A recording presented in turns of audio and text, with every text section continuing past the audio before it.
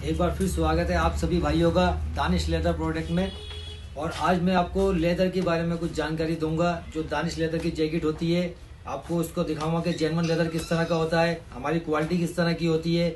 और हम लोगों का जो माल होता है, सारा फ्रेश माल होता है ये सरप्लस वगैरह का माल नहीं होता, जिस तरह आपने देखा होगा, लोग, काफ़ी लोगों के पास जो है तख्ते पे काफ़ी जैकेटें लगी होती हैं, धोबी घाट जैसी लगी होती हैं।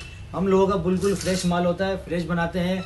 क्वालिटी बनाते हैं अपने कस्टमरों के लिए बढ़िया से बढ़िया क्वालिटी बना के देते हैं। जैसे जैसे ये देखिए ये दानिश लेदर के अंदर जितनी भी जैकेट होंगी हमारी अपनी ब्रांडिंग के नाम से होती है दानिश लेदर प्लस इसके अलावा जितनी भी हमारी चेनें होंगी सारी वाई के के देखो भाई वाई के के के नाम से वाई के के की सारी चेनें होंगी।